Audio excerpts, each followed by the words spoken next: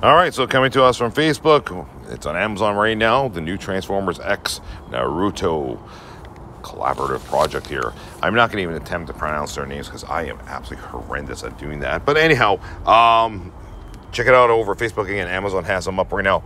Once our affiliate links do have them up, we'll let you guys know. So, uh, you know, we covered this yesterday and then earlier this morning as well.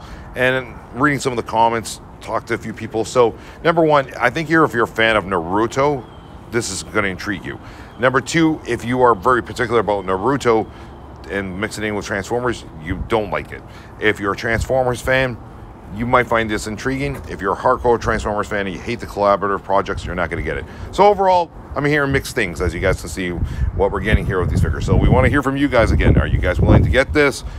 Pay full price. What's your take on it? I find it interesting. Absolutely, I really do. I think it's kind of cool actually.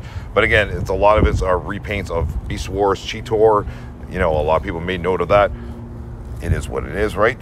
So again, I probably won't be picking this one up. Unfortunately, I'm going to pass on it, but it, it does look interesting. All right, let us know what you guys think. Take care, guys.